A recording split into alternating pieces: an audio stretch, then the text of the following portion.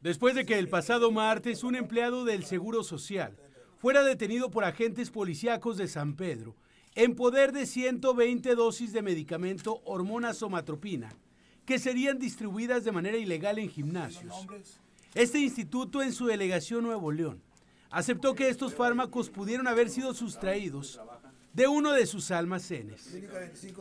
El delegado en esta entidad del Seguro Social, Francisco Javier Mata Rojas, aceptó ante los medios de comunicación que el ahora detenido, identificado como Arturo Cervantes Gutiérrez, tiene 18 años laborando en la institución.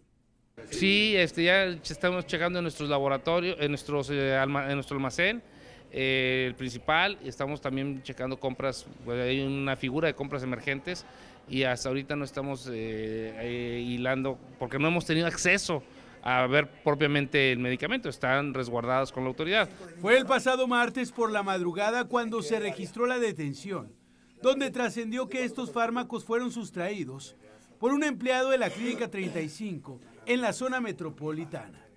Este hecho se dio en el cruce de Humberto Lobo y Amazonas, donde fue detenido Cervantes Gutiérrez, junto a Alejandro Javier de León Gómez, quien dijo ser el propietario e instructor de un gimnasio en Saltillo, y quien compraría las 120 dosis del medicamento, en 90 pesos cada una. Se está investigando cuál es la situación, el origen de ese, medicamento. Eh, digo, el laboratorio surte a muchísimas eh, dependencias, tanto oficiales como instituciones privadas, y ahorita estamos coadyuvando tanto con la Procuraduría como con, en su caso, que llegue a turnarse a la PGR. Estos dos hombres ya se encuentran a disposición de las autoridades ministeriales para su investigación. A Ángel Giner, Noticieros Televisa.